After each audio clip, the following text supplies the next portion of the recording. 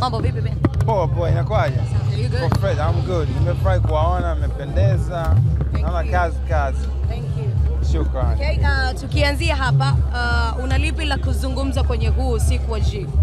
Kwanza nafurahi and I'm so proud of my brother Jinako.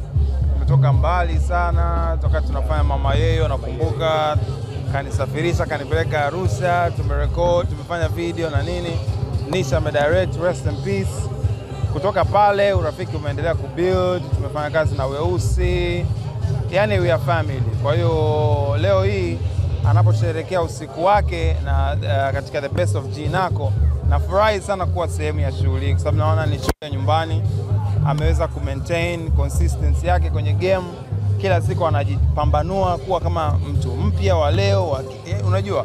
Kwa hiyo nafurahi kuwa sehemu ya sherehe hii. Okay. Tukimzungu The best of Warawara ambayo inafanyika leo, tutegemee kumwona Ben Pol akiandaa project kama hii siku za karibuni.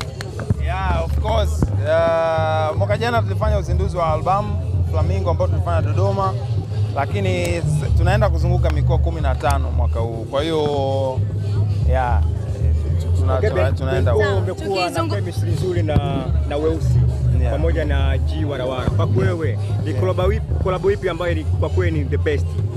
Kati ya hivi na hivi Jo Makini, Jinako zote, kwa sababu wote ni ndugu zangu, All- they are my brothers. Mama yeyo iliweka sana eh, nani, lakini pia unanichora na Jo Makini, sitaki kazi na weusi wote, unaona. Kwa hiyo na, naona kila mara tukifanya kazi inakuwa kitu kizuri.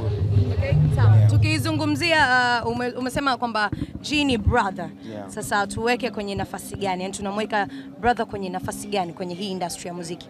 Brother wa aina gani kwako? Jinako is very humble, yani ni mtu ambaye ni mnyenyekevu sana. Yani ukigombana na Jinako ujue wewe ukajinabidi ujiangalie wewe.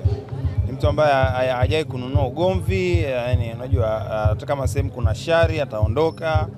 Yani ni mtu ni mtu hivyo. Hata kama kuna matatizo atakupigia simu akuulize. Hata kama wewe ndio umemkosea atakuuliza kwamba bana ah, bana uko sawa, unaelewa. Kwa hiyo ni mtu ambaye kwa kweli mnyenyekevu sana na anafanya sana kazi.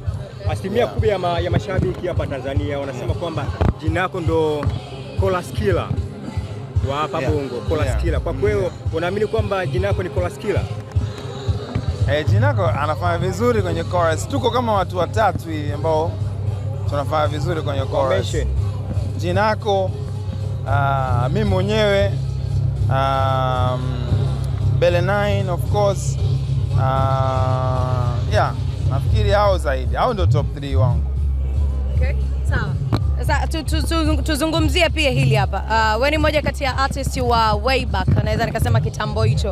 Uh, jana tumemwona Alikiba amefanya uzinduzi wa radio yake ambayo inaitwa Crown uh, Radio. Kwa upande wako tuanzie hapa kwenye hatua ambayo Alikiba amefikia, unampa asilimia ngapi? Lakini pia ni nini ambacho unaweza ukamwambia?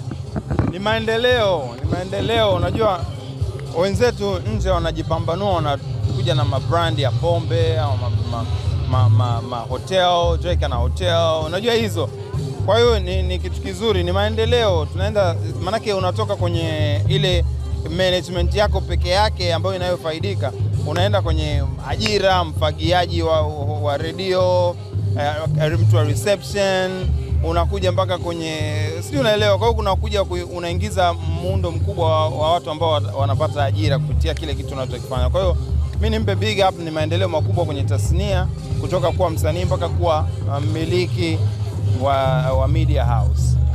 Sawa. Lakini pia hapo hapo kuna baadhi ya vitu vingi ambavyo tuliviona baadhi ya wasanii wetu waliwahi kuviproduce na kuvitangaza kwetu, ikiwepo uh, Diamond kwanza alianza na karanga, kuna perfume kama sikosei, na pia Alikiba alikuja na ile alikuja na ile energy lakini imepotea, ama tunaweza tukasema zimepotea. Unahisi kwenye hizi brandi kubwa au biashara kubwa ambazo wanazianzisha wana uwezo wa kuseto vizuri na wakafanya vizuri wakaendelea na kuto kurudi nyuma kama zilivyokuwa kwenye brand nyingine walizowahi kuzianzisha? Tuwatakie heri, mi nasema tu tuwatakie heri kwa sababu dhamira ni nzuri. Dhamira, unajua mpaka mtu anafungua redio, maana yake ame, ame consider vitu vingi, yani ame consider kwamba hapo kutakuwa na ajira, kutakuwa na ni nia njema, nia yake ni njema. Kwa hiyo mi nafikiri tuwatakie tu heri, tusianze kuwa doubt kwamba ataweza ataweza kuendesha. Nafikiri tuwatakie tu heri, kwa sababu ni ni dhamira yake ni kitu kizuri, yani ni jambo zuri, na kuanguka ni sehemu ya, ya, ya, ya mafanikio. Yani kuanguka ni, ni ndo ada ya kufanikiwa. Yani ukikosea ama ukifanya mistake ama ukipata hasara, hiyo sio hasara, hiyo ndo ada umelipa kujifunza ili kuendelea kwenye hatua nyingine. Asante sana jamani, naona huku huku